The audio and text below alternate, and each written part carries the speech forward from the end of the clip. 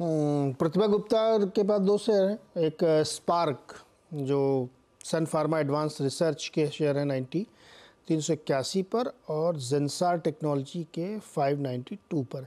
Spark में बीच बीच में बड़ी खबरें आती थी बहुत मोमेंटम होता लेकिन इनके प्राइस के आसपास क्या बीस रुपये का नुकसान है इनको?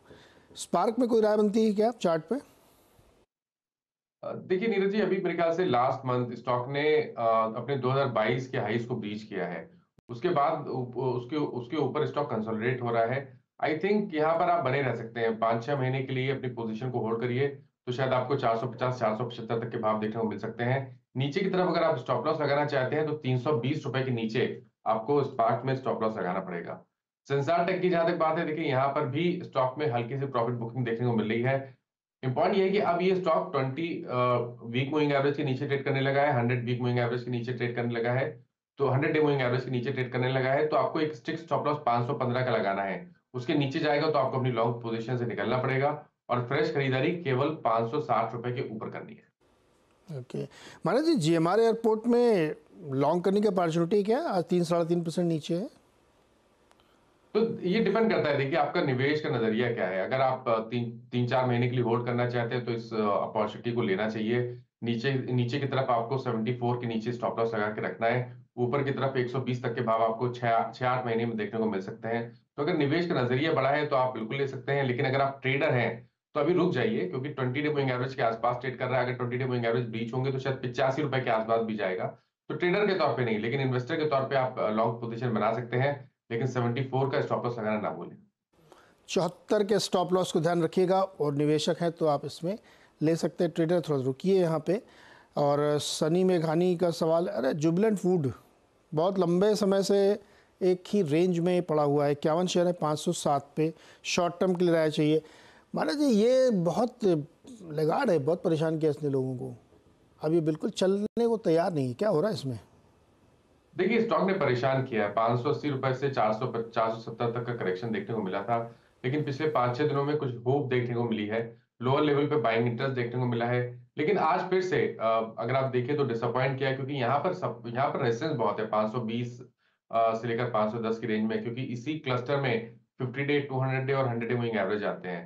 तो अब जो नया मूव मिलेगा, वो तो 520 रुपए के ऊपर मिलेगा। तो 520 के ऊपर तब आप फिर से तेज़ी कर सकते हैं 550 के टारगेट के लिए। लेकिन अगर आपके पास लॉन्ग पोजीशन है तो आप एक स्टॉप लॉस लगाइए 494 का और बने रहिए स्टॉक में। महाराज जी, आपने पिछली बार जब पिज्जा ऑर्डर किया था तो इन्हीं के यहाँ से किया था, कहीं और से? नहीं पिज्जा तो मेरे घर में मेरे बच्चों को डोमिनोज का ही अच्छा लगता है तो वो हमेशा वहीं से आते हैं। ओके okay, चलिए ये तो अच्छी खबर दी आपने वरना आजकल बहुत कंपटीशन बढ़ गया है। ओके okay, चलो केतुल पटेल का के सवाल लेते हैं। इन्होंने ट्यूब इन्वेस्टमेंट पे सवाल पूछा। Tube investment three six double seven पर यानी छत्तीस सौ सतहत्तर पर इन्होंने खरीदे एक सौ पचहत्तर share can I hold for one week और सो स्विंग ट्रेडिंग लिए। ट्यूब इन्वेस्टमेंट पे इतने लो वॉल्यूम वाले पे। माने जी, क्या लग रहा है इस पे? ट्यूब इन्वेस्टमेंट के, मैं चार्ट्स, ओके ठीक है तो देखिए, ट्यूब इन्वेस्टमेंट की जहाँ तक बात है स्टॉक करेक्ट हुआ है, वापस ट्वेंटी डे मूविंग एवरेज के आसपास आया है। आई थिंक बने रह सकते हैं, थर्टी सिक्स हंड्रेड के स्टॉप लॉस से आप बने रहिए, क्योंकि मेरे ख्याल से पाँच छह दिन पहले एक बॉटम फॉर्मेशन हुआ है। तो स्टॉक में आप बने रहिए, छत्तीस सौ रुपए का स्टॉप लॉस लगाइए, सैंतीस सौ तीस, सैंतीस सौ पैंतीस के ऊपर निकलेगा तो फिर नेक्स्ट मूव में आपको शायद थर्टी नाइन फिफ्टी तक के भाव भी स्टॉक में देखने को मिल जाएँगे मिल जाएँगे। एक हफ़्ते में चाहते हैं।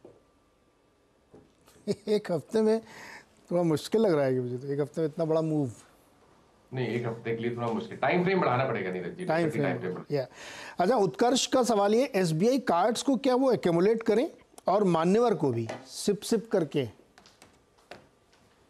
देखिए एसबीआई कार्ड में आ, मैं नहीं बोलूँगा क्योंकि आ, एक बहुत बेसिक सी चीज़ है जब स्टॉक 200 डे मूविंग एवरेज के नीचे ट्रेड कर रहा हो 20 वीक मूविंग एवरेज के नीचे ट्रेड कर रहा हो तो वो मीडियम टू लॉन्ग टर्म के लिए बहुत पॉजिटिव नहीं होता है। तो एस बी कार्ड पे अभी आपको थोड़ा वेट करना पड़ेगा। कोई आ, एक स्ट्रॉन्ग पैटर्न बनेगा चार सौ सत्तर के ऊपर स्टॉक ट्रेड करने लगेगा तभी आपको एस बी कार्ड में खरीदारी करने का सौदा लेना है। दूसरा स्टॉक आपने मान्यवर का बताया। आ, मैं इसके चार्ट में वेदांत फ़ैशन। देखिए मान्यवर में ट्रेंड क्लियरली निगेटिव है। चौदह सौ पचास से गिरावट देखने को मिली थी। अब हज़ार रुपए के नीचे स्टॉक ट्रेड कर रहा है। एक बहुत ही इंपॉर्टेंट सपोर्ट था। एक हज़ार पचास उसको ब्रीच किया उसके नीचे गया है। तो यहाँ पर तो कोई रीजन दिखता नहीं कि आपको किसी भी तरह से लॉन्ग पोजीशन बनानी चाहिए। किसी भी उम्मीद में कि आपको यहाँ से कोई मीनिंगफुल बाउंड बैक देखने को मिलेगा। अगर आपको खरीदारी करनी ही है तो आपको वेट करना है। एक हज़ार साठ के ऊपर ही आपको यहाँ पर खरीदारी करने का ट्रेड लेना है। बल्कि एसबीआई कार्ड तो अपने आईपीओ के भाव के आसपास चल रहा है। बहुत ही अंडर परफॉर्मर मतलब उसने लोगों को दुखी कर लिया एकदम। क्या बोला जाए इसमें? नीलेश राजपूत का सवाल है ये नासिक महाराष्ट्र से हैं और एनएचपीसी में अभी एंट्री ले सकते हैं क्या? देखिए टाइम फ्रेम अगर पता लगे तो ज़्यादा बेहतर रहेगा, लेकिन अगर मैं दोनों तरीके से बता देता हूँ। शॉर्ट टर्म के लिए अभी नहीं लेना है। शॉर्ट टर्म के लिए गिरावट देखने को मिले और वापस स्टॉक 89 90 की रेंज में सपोर्ट ले, तब आप 84 के स्टॉप लॉस से खरीदारी कर सकते हैं। अगर आपका नज़रिया बड़ा है छह आठ महीने का नज़रिया है तो भी मैं समझता हूँ कि ये सही स्तर नहीं है जहाँ पर एनएचपीसी में खरीदारी करनी चाहिए। कोई मीनिंगफुल करेक्शन देखने को मिले, क्योंकि देखिए रैली बहुत बड़ी थी तो कोई जब तक मीनिंगफुल करेक्शन ना देखने को मिले तब तक आपको मीडियम टू लॉन्ग टर्म के लिए खरीदारी नहीं करनी चाहिए। नीचे अगर सत्तर रुपए पचहत्तर रुपए के आसपास करेक्ट हो जाए और वहाँ पर सपोर्ट ले कोई बॉटम फॉर्मेशन बने तभी यहाँ पर खरीदारी करें। ओके okay, वरुण चौरसिया का सवाल लेते हैं। इन्होंने बहुत ही पॉपुलर तीन स्टॉक ले रखे हैं। Indian Overseas Bank IREDA yes bank IOB लिया बयालीस पर इरेडा लिया एक सौ इकसठ पर यस बैंक लिया इकतीस पर। एक दो साल के लिए इन तीनों स्टॉक पे क्या राय बनती है आपकी? तो देखिए जहाँ तक बात आईओबी की है आईओबी में आप बने रह सकते हैं क्योंकि यहाँ पर जो मीडियम टर्म आउटलुक है वो पॉजिटिव है। उम्मीद किया सकती है कि यहाँ पर आपको नब्बे रुपए तक के भाव छह से आठ महीने में देखने को मिल सकते हैं लेकिन उसके लिए आपको पेशेंस रखना पड़ेगा और फिफ्टी सेवन रुपीज़ का स्टॉप लॉस लगाना पड़ेगा।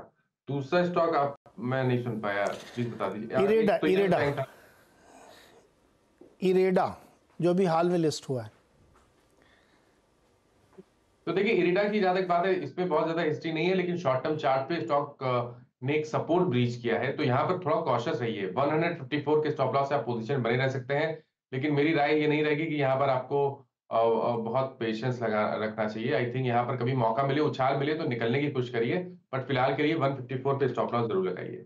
यस बैंक भी थोड़ा सा करेक्ट हुआ है। लोअर लेवल पे एक बहुत इंपॉर्टेंट सपोर्ट है ट्वेंटी फिफ्टी के आसपास।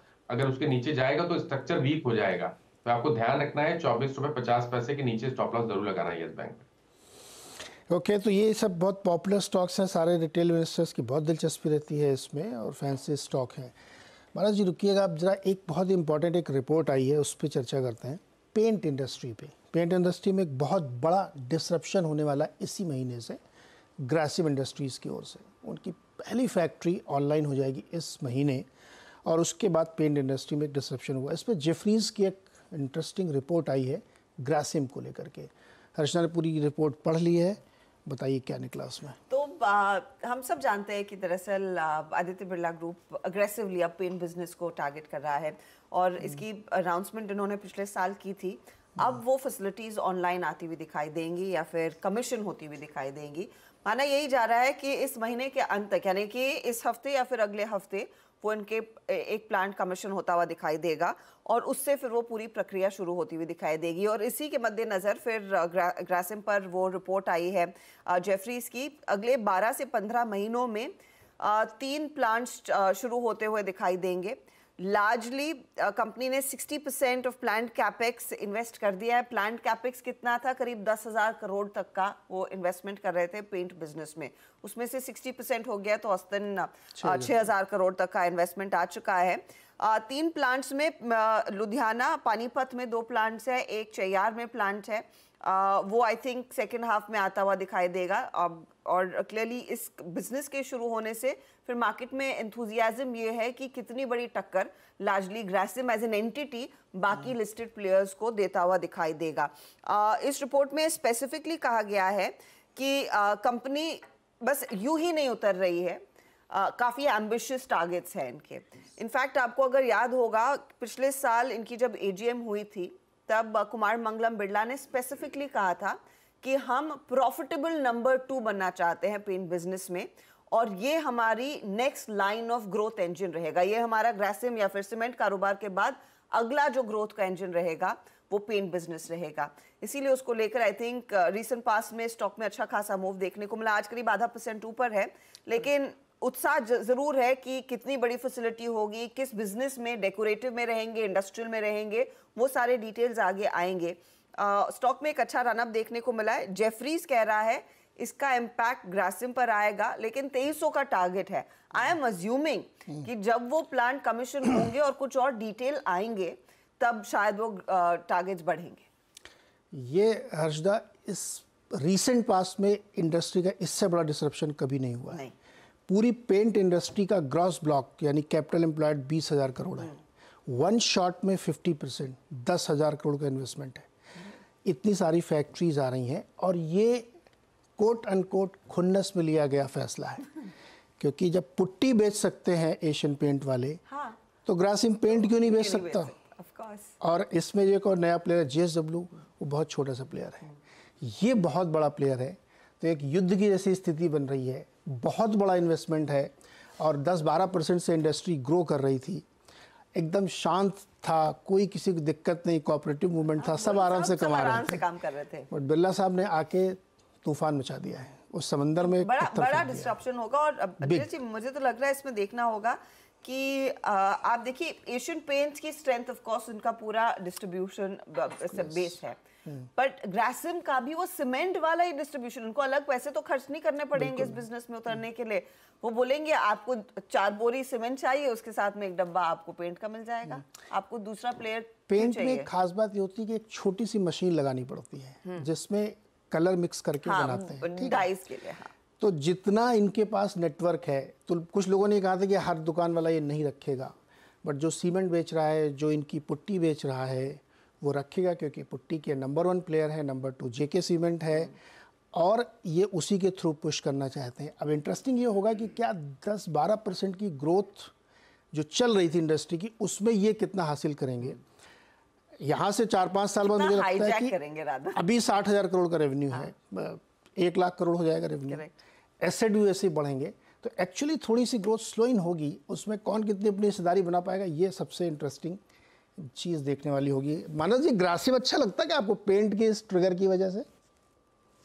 बिल्कुल, देखिए चार्ट्स पे तो ग्रासिम अच्छा लगता है, क्योंकि जिस तरह की रिकवरी पिछले दो तीन दिनों में देखने को मिली है और स्टॉक ने अपने प्रीवियस हाई को ब्रीच किया है, उसको देख के तो लग रहा है कि शायद आपको 2320 तक के भाव देखने को मिल सकते हैं। आज जो छोटी मोटी गिरावट देखने को मिली है, वो आई थिंक अपॉर्चुनिटी की तरह ही उसको देखना चाहिए। आप करंट लेवल्स पे एक लॉन्ग पोजिशन बना सकते हैं स्टॉप लॉसेस 2154 के नीचे लगाइए। ओके okay, तो ये राय थी ग्रासिम पे और बहुत सारी पेन इंडस्ट्री पे और बहुत सारी डिटेल में चर्चा आगे हर्षदा भी आपके साथ करेंगे लेकिन फ़िलहाल इस शो में छोटा सा ब्रेक लेने का वक्त है लेकिन हर्षदा यहीं रहेंगी फिर इनके साथ देखिए आप खिलाड़ी नंबर वन बता दें कि मनी कंट्रोल पर दिए गए विचार एक्सपर्ट्स के अपने निजी विचार होते हैं। वेबसाइट या मैनेजमेंट इसके लिए उत्तरदायी नहीं है। यूज़र्स को मनी कंट्रोल की सलाह है कि कोई भी निवेश निर्णय लेने से पहले सर्टिफाइड एक्सपर्ट की सलाह लें।